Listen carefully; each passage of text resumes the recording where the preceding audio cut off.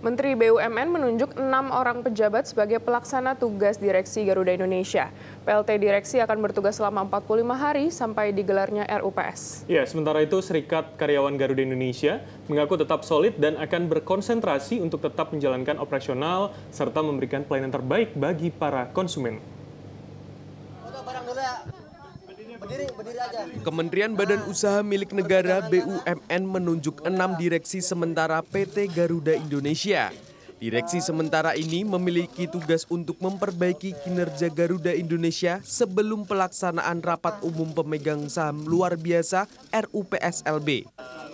Daftar direksi sementara Garuda Indonesia yaitu Fuad Rizal sebagai PLT Direktur Utama, Pikri Ilham Kurniansyah sebagai Direktur Niaga, Tumpal Manumpak Hutapea sebagai pejabat direktur operasi, Muhtaris sebagai direktur teknik dan layanan, Joseph Dajud Katendean sebagai pejabat direktur kargo dan pengembangan usaha, serta Kapten Arya Perwira Adiksana sebagai direktur human capital.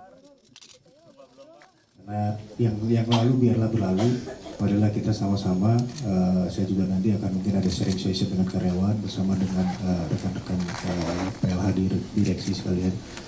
Uh, untuk kita bisa bekerja sama lebih baik lagi ke depannya, untuk kita bisa jadi satu lagi, semuanya hanya untuk uh, Garuda Indonesia ke depannya.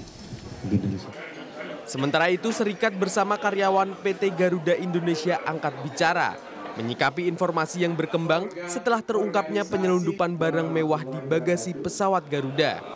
Serikat Karyawan Garuda Indonesia yang terdiri dari Badan Pengurus Asosiasi Pilot Garuda, Serikat Karyawan Garuda, dan Ikatan Awak Kabin Garuda Indonesia menyampaikan lima poin pernyataan sikap Kamis siang.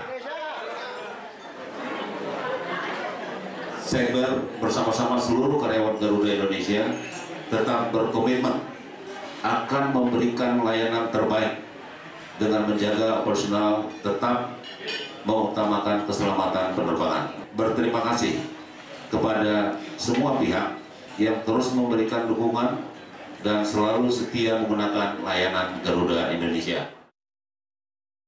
Kasus PT Garuda Indonesia sendiri berawal dari terkuaknya penyelundupan kendaraan bermotor merek Harley Davidson, sepeda motor Brompton, serta tas mewah yang menyeret nama Direktur Utama PT Garuda Indonesia, I Gusti Ngurah Aksara Dana Diputra.